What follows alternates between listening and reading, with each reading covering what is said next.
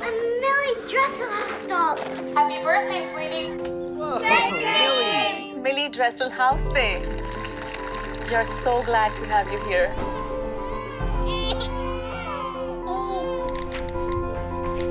What if we treated great female scientists like they were stars? Une photo avec vous Yes, queen. What if Millie Dresselhaus, the first woman to win the National Medal of Science and Engineering, were as famous as any celebrity. Millie Dresselhaus was seen having lunch today. Millie Rumors of a new discovery.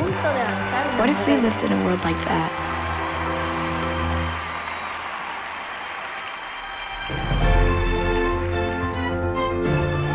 We know a place that's already working on it.